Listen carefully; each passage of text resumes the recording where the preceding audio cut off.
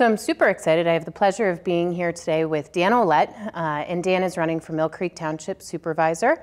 Um, so thank you for being here. Pleasure to be here.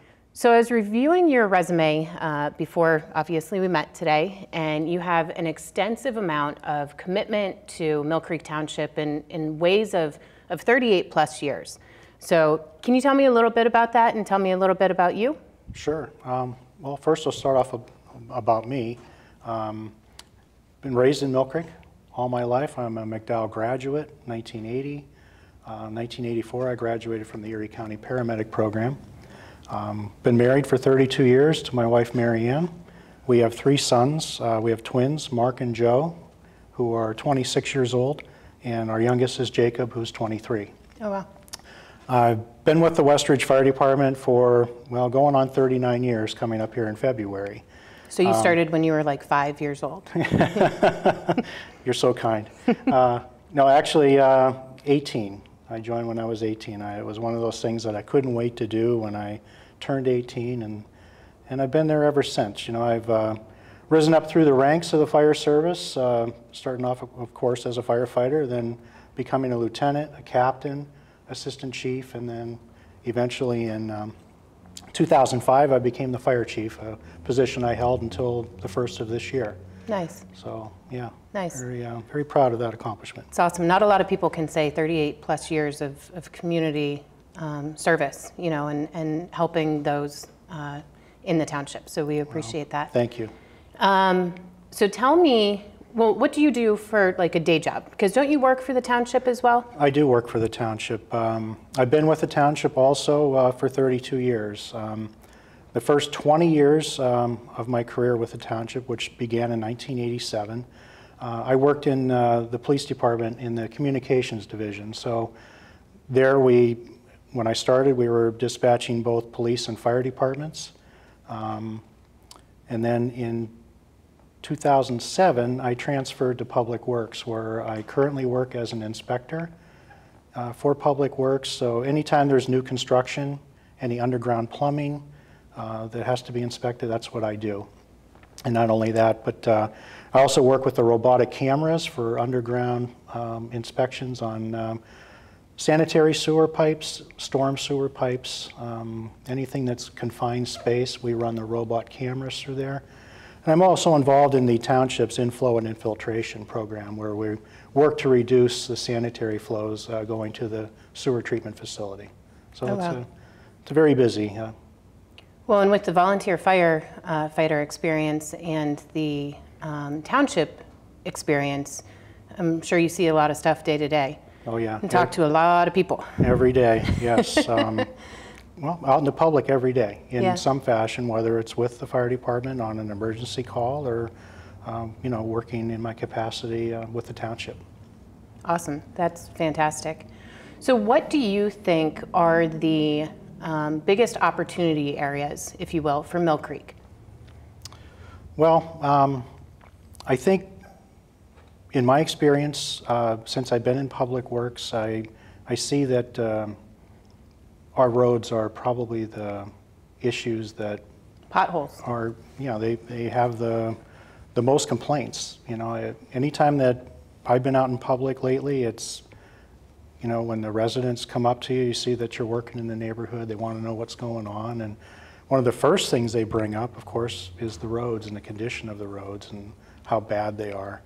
And you know as a township resident and also a township taxpayer I have to agree they are they are bad in combination with that is our, you know, our, our storm sewer system. It's not doing what it's supposed to do. And um, sometimes it's because it's deteriorating or maybe even not even in place in certain areas. So of course it can't take away the rainwater like it's supposed to do. and the rain will keep coming. Oh, that's for sure. And you know, it's one of the big contributing factors to the degrading of the roads is if the water can't get off the roads, then it sits there and you know, our weather and our freeze-thaw cycles, um, it plays havoc on our roadways. So that water gets on, into the cracks, if the roads aren't properly maintained, the water gets in the cracks, and of course when it freezes, it's going to pop the roads, and you know, then you have all that loose asphalt that we see everywhere. Mm -hmm. You sound like you have a, a lifetime of experience, not only just dealing with those things, but hearing from people in the community that, that have uh, faced those problems as well. What do you think the township supervisor's role is in maybe fixing those issues or getting to a point that, um, you know, they're not all of a sudden needing to be taken care of? You know, some proactive. Well, that's, that you, you hit the nail on the head. Um, For far too long, my experience has been, we've always been reacting to issues as they come up. Um, In order to get out ahead of these things and get them identified, uh, we have to be proactive. And there's a lot of ways that we can do that. Um, We know the areas that um, the underground pipe is, is made of corrugated metal. There's miles of that in the township. And that's traditionally where I've been seeing issues and, and my coworkers also. That's, that's where we've been focused on going and resolving issues with um, sinkholes in the ground. Sometimes they're in the lawns, sometimes they're under roads. Uh, you know, when they're under the roadways, that's, that can be a, a, a big problem, um, especially with traffic. And you don't want a sinkhole forming and all of a sudden discover, you know, that that's the issue if a car or a truck falls into it. Absolutely. Um, That can be very problematic. So to be proactive in that, we need to get out ahead of that and identify where, where are these issues. Um, We have the robotic cameras. We can get in there and, and start making that, you know, full-scale assessment of where we need to go uh, and how are we going to address these problems. Sometimes the more costly uh, fix to, say, a pipe that has failed or is failing is, is to dig it up. Um, Sometimes that can be very expensive, time-consuming. Um, You have to think about all the other underground utilities that might be, you know, near where the storm pipes are, and that's usually the case. You have gas lines, you have water lines, electric, telephone, cable, there, everything's underground now, especially in the newer areas. So um, in order to get around that, we can actually fix pipe while it's in place underground. um, Disturbing less of people's neighborhoods. Oh, for sure. And, you know, just by a process called lining, you know, lining in place, cured in place lining. Um, That's usually the more cost-effective approach, and ideally, that's the route we want to go, the most cost-effective uh, way that we can battle this issue moving forward. Have you talked to people um, that have been facing the issue? What, what do they say? The people that live in the neighborhoods that have been, been affected? Well, Are I- they frustrated? Well, they're extremely frustrated. I happen to be uh, in the 26th and McKee neighborhood Oh, yeah. actually last week, and I think uh, most everybody is, is aware of that issue there. It's been going on for, well, far too long. And that's the same sentiment that I'm hearing from the, from the residents in that area. It's just, um, there doesn't seem to be any forward movement, and, um, you know, they're, they're really not seeing any relief Sure. from the issues. So they're frustrated. I was talking to one woman um, on 28th Street last week, and she's nervous every time it rains. She's looking out her front window, whether it's day or night. She, she went through the Father's Day about two years ago when we had um, one of the more significant rainfalls. Um, they and uh, a lot of the neighbors up there were all affected. They're, all their basements flooded. Uh, the, the stormwater runoff had nowhere to go. Sure. So it came in their homes. And that is a major concern for those folks up in that area, Absolutely. Absolutely. Yeah, as it would be for anybody. Oh, sure. But I, sure. I can't even imagine being nervous enough that you're looking out your window every time it rains. Oh, my gosh. Because you're that afraid of it. Right, right.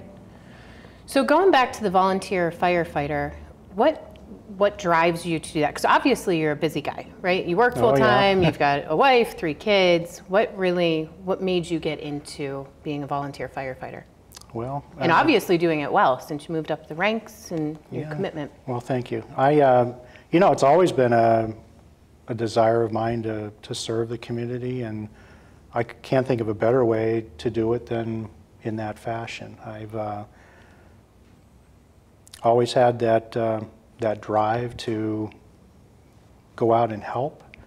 And, and once you join and once you, you know, receive all the training that is required and, and I think for a lot of people, they, most people want to rise up through the ranks and, and do better and learn more. And, um, and that's what I did. And thankfully, you know, I've had a huge amount of support from my family. My wife and my kids always have supported me. And that is, I can't even tell you how crucial that is to be successful as a volunteer because you are away a lot. You're away from home a lot. Um, you know, there's the training, there's meetings, there's also the calls. You know, and Sometimes- Mill Creek Township is a very busy township, and there's Sure. a lot of calls, whether they're medical, car accidents, fires, you name it All times of the day, too. all times of the day or night. And yeah, you have to have a supportive family and very understanding. Sure, that's awesome. It's awesome. So tell me what you've been doing on the campaign trail. Have you been going out? I, I just saw a few big signs go up uh, throughout the township, which is fantastic. Yeah, the campaign signs are out, obviously, large and small, uh, down to the yard signs. Um, it's been very positive. I'm anticipating um, being into at least 4,000 homes by the time election day comes. You still have soles on the I bottom of do your have shoes? soles on, well, yeah, yeah, they're wearing down. But, you know, I'm, I'm meeting some fantastic people. Um, And, of course, every neighborhood's unique. And every neighborhood has, you know, something going on. Whether it's their roads, it's stormwater, it's the parks near them. You know, there, there's concerns in every neighborhood. And they're looking for somebody to, to listen, to hear what they have to say. Um, and I think that that's huge. I, I know that customer service is not, uh, not highly regarded amongst a lot of folks in the township. Um, you know, dropping the ball there. We What do you a mean by that? better. Like the, the communication process, just in general? Well, let's just start from the time that, say, you're a homeowner Mm-hmm. and you have a concern. So you call in and say, I've got this going on with my street. What, what can we do about it? Sure. I'm, I'm calling to let you know about it. Well, a lot of times, people never hear back. Oh, wow. They don't see any uh, result. You know, say it's a pothole in front of their home, and it goes a week, goes two weeks, and here you are. You're sitting here. Well, geez, I wonder if they got got the call. Did they get the got- Did they message? get the message? Did they not? So you call again, and maybe it goes another week or two. Oh, wow. Now there's that frustration level, and that's totally understandable. We can do a lot better than that. Sure. Um, I've heard instances where, yeah, I'll, I'll get back to you in a week. Well, a week turned into a year. Mm-hmm. And I, I've heard that more than once. And even once is too long. Sure. That's, you know, we have to do better with, our, with our customer service. I, Mill Township is, is, a, is a large township, but we're not too large that we can't provide great customer service. And, and I want to figure out a way to address that, address the whole process from the time somebody calls in with a, with a concern or a complaint to the time it's, it's rectified and, you know, it's, there's closure to it.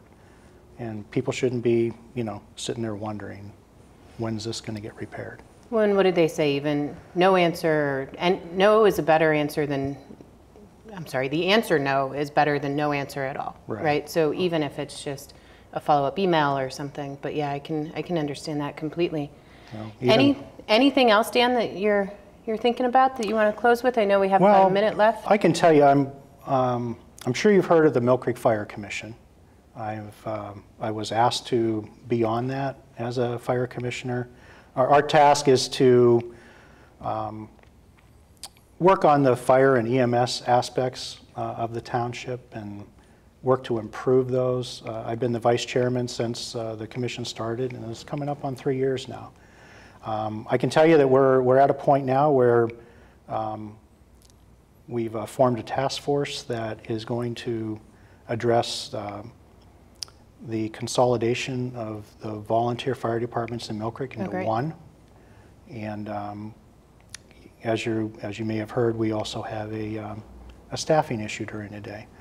A lot of our volunteers are working their regular jobs, and um, that takes away from people being able to respond. So we're, we're looking at a, a paid component so we can guarantee staffing to our to our residents, to our businesses in the township, so that in, you know, in the event of an emergency, somebody, somebody will be there. Somebody will be there to respond and, and, and address the emergency. Perfect. I, I really appreciate that. And like that, we are out of time, so it was a pleasure. Well, thank you. Thank you for having me. Thank you. All right.